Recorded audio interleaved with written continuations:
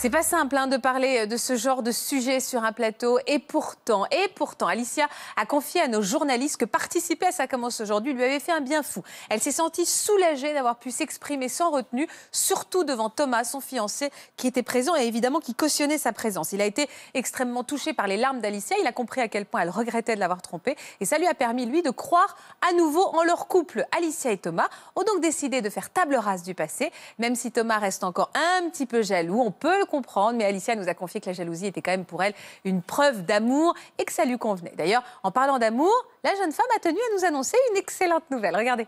Bonjour Faustine, bonjour toute l'équipe. Voilà, on vient, on vient aux nouvelles. Eh bien avec Thomas, tout se passe bien. Et une petite nouvelle, la famille va s'agrandir. Le bébé est prévu pour juillet. On ne sait pas encore le sexe. Voilà, nous sommes très heureux tous les quatre et bientôt tous les cinq. Bisous Félicitations à tous les deux. On a hâte de découvrir la bouille de ce bébé. Surtout, vous pensez bien nous envoyer des photos. C'est important pour nous. Autre bonne nouvelle, des plus romantiques d'ailleurs. L'année dernière, Alicia a demandé Thomas en mariage le jour de la Saint-Valentin. Elle avait tout organisé pour que la surprise soit totale. Une petite boîte sur le lit avec les alliances, des pétales de rose qui étaient dispersés un peu partout dans la chambre.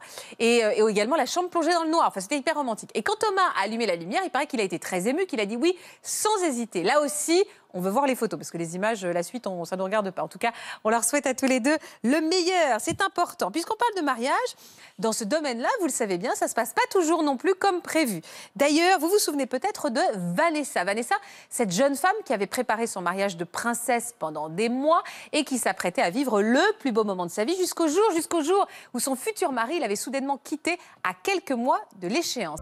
En venant sur notre plateau, Vanessa s'était sentie rassurée que voir que d'autres personnes avaient vécu le même coup dur qu'elle. Elle est d'ailleurs restée en contact avec Christelle, dont nous vous avions euh, donné des nouvelles il y a quelques semaines.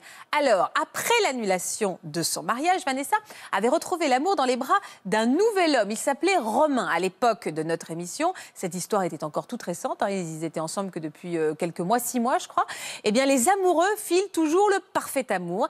Ils sont même en train de faire construire une maison et qui dit maison dit famille. Romain souhaite avoir des enfants avec Vanessa. C'est évidemment un très très beau projet qui enchante la jeune femme et je lis cette photo. En revanche, elle est encore un peu refroidie par l'idée du mariage, hein, on la comprend. Et son amoureux n'est pas vraiment accroché à cette idée lui non plus. Donc se marier Bon, bof, mais des enfants, oui. En tout cas, Vanessa nous a confié que si Romain lui demandait sa main, elle dirait sûrement pas non, parce qu'elle est quand même très amoureuse, même si c'est pas une priorité pour elle.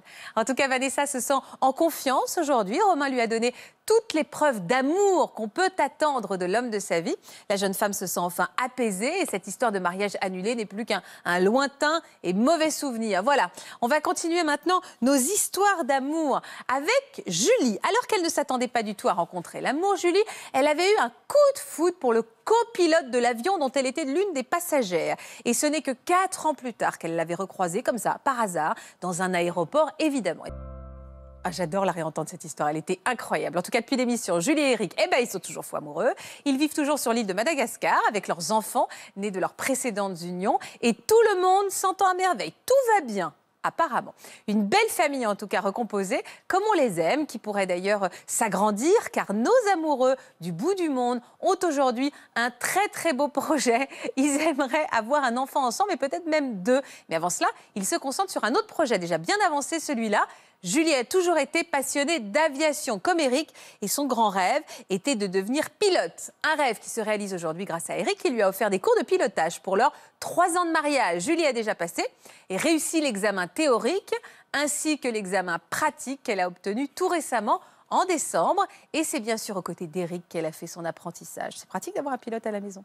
Elle a donc pu réaliser son premier vol avec son amoureux en copilote. Ça, c'est classe. Et prochainement, elle passera un second diplôme pour pouvoir voler seule. Son but étant d'obtenir une licence commerciale pour devenir pilote de ligne pour une compagnie privée. Si ça, c'est pas un changement de vie. Eric, lui, il est toujours pilote sur des vols long courriers. Le plus souvent, il assure les liaisons entre Madagascar et Paris. Et ça permet à Julie de le suivre et au couple de profiter de petits séjours parisiens en amoureux. Et ça, c'est sympa. Le couple aimerait également s'acheter un petit avion de 4 places. Leur rêve est de retourner sur les lieux de leur mariage au sud de Madagascar et de renouveler leurs vœux dans les airs. Un voyage qui est prévu pour leur quatrième anniversaire de mariage. Ça, c'est romantique. Moi, j'adore les romantiques. Allez, on vous envoie plein de baisers chez vous à Madagascar et on vous souhaite évidemment plein de bonheur.